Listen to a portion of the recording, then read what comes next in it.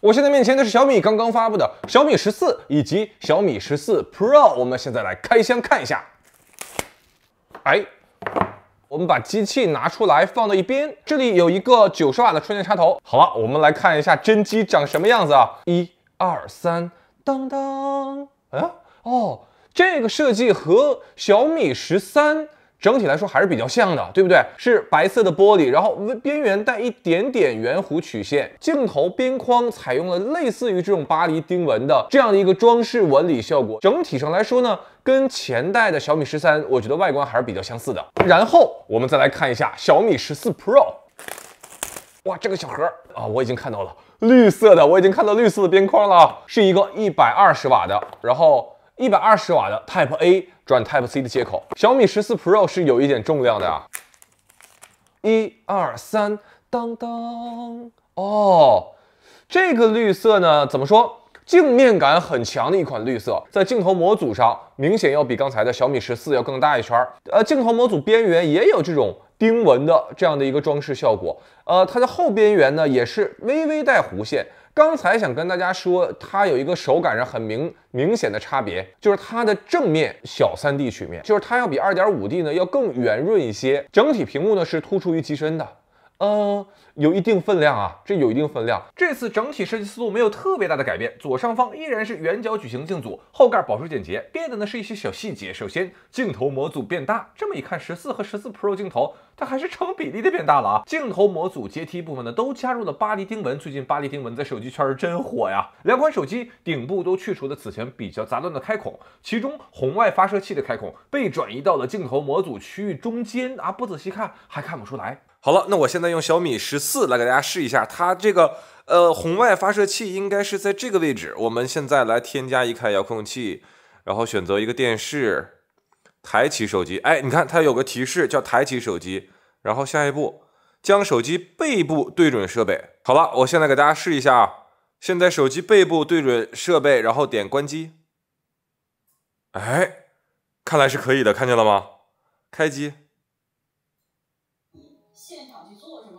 不需要你去愁。哎，看来这个功能融合的还是很方便呀。这次十四 Pro 有一个最大的改变，就是边框变平了，那握持手感更稳。但是呢，边框是突出于后盖和屏幕的，所以握持的时候会有明显的凸起感。我觉得没有十四握持舒适。绿色后盖非常好看，有明显的莹润感，光线下质感突出，但是呢也容易沾染指纹。相比之下，十四的白色依然好看很多。两款机型啊，我还是会更喜欢小的十四多一些。手感上，十四因为尺寸更小，所以整体手感也更友好。重量一百九十二克，十四 Pro。呢，因为更大一些，所以达到了二百二十五克。厚度方面，十四呢也要略薄一些。这次小十四和十四 Pro 边框都非常窄，正面视觉观感非常好。特别是小十四本身平面屏幕配合窄边框很好看。十四 Pro 呢也有一个优化，就是它采用了上下左右四曲面玻璃边缘的同时，还优化了四个边角。大家可以看一下小米十四 Pro 呢，它的这个四个边框都是微微的曲面，它应该是介于三 D 和二点五 D 之间。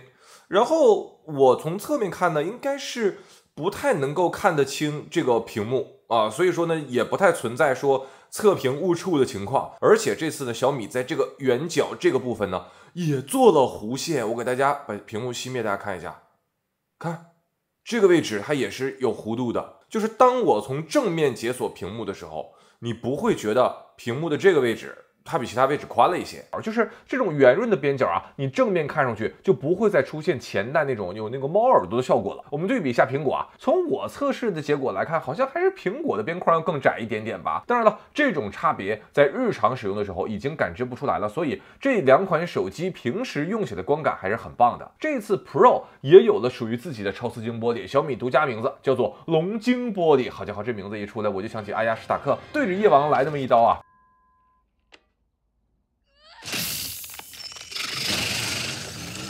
这次小米首发了骁龙八 Gen 三。话说这两年骁龙芯片发挥真的是越来越好了，特别是在功耗控制上。实际测试原神极限画质，前代八阵二三十分钟，手机最高是四十四点二度，平均功耗是五五幺九；而在八阵三的小米十四 Pro 上，最高温度下降到四十三度，平均功耗下降到四八零幺。至于小米十四，平均功耗更低一些啊，只有四五五三。但是它散热没有 Pro 好，最高温度达到了四十四点三度。对于大型游戏来说，还是 Pro 更合适。王者荣耀这种常规游戏呢，Pro 功耗呃比前代小幅降低。那十四小屏幕分辨率没没有 Pro 高，所以功耗呢控制的更低。在发热表现上，Pro 依然要比十四更好啊，低了一点四度。目标人群也逐渐清晰啊。为了探究八阵三日常功耗的表现，我还测试了微博和抖音，分别代表了社交网络和短视频平台。微博的功耗变化不大，抖音有明显下降。总的来看。八阵三功耗确实要表现的越来越好。我记得当年骁龙八刚出来的时候，测试原神那个极限画质要五十度啊，手机达到五十度，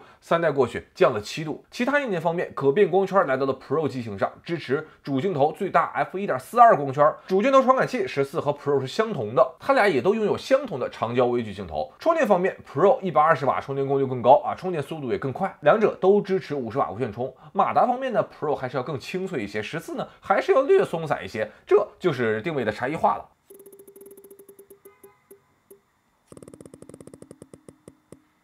我个人还是更喜欢十四一些，虽然说游戏方面是弱于 Pro 的，但是拍照足够好，手感足够轻。我认为小米对于十四的刀法呢，也相对来说比较温和。就虽然说有很多硬件环节它是落后于 Pro 的，但大家最关心的那核心的几个环节，体验是比较一致的。那十四主打日常使用，Pro 主攻游戏，Ultra 侧重影像，三者定位差异化做得不错，大家可以很明确的按照自己的需求来进行选择了。